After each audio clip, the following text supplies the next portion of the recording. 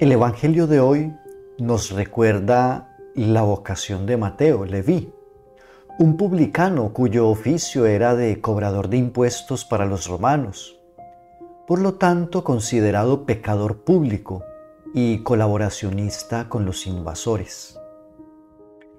El Evangelio de hoy es tomado de San Mateo, capítulo 9, versículos 9 al 13.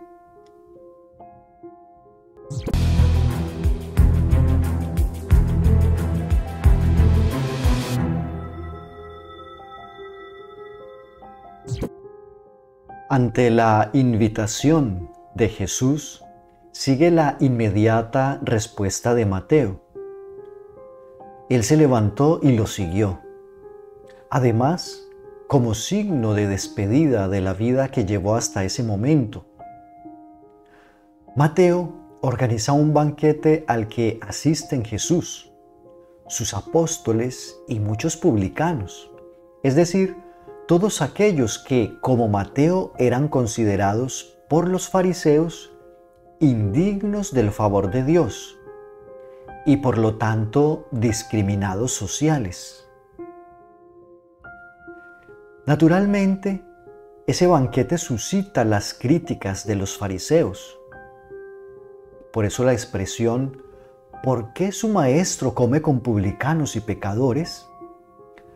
A lo que Jesús responde con esa bella frase de todos que todos conocemos. No son los sanos los que necesitan de médico, sino los enfermos. Con esa frase el Señor no quiere justificar los vicios, las malas costumbres y los pecados.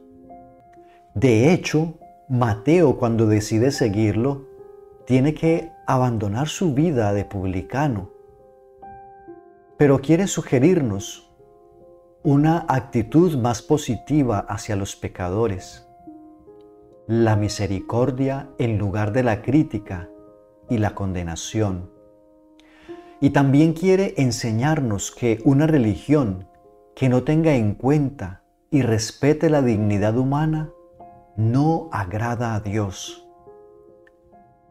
Para los fariseos, la religión era esencialmente ritos, sacrificios y ceremonias.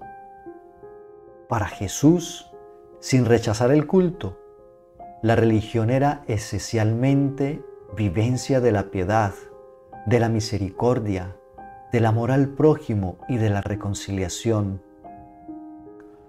Ojalá pues que las enseñanzas de hoy nos ayuden a purificar nuestra forma de pensar y de actuar respecto a Dios y nuestro prójimo. Que el Señor me los bendiga a todos ustedes en el nombre del Padre y del Hijo y del Espíritu Santo. Amén.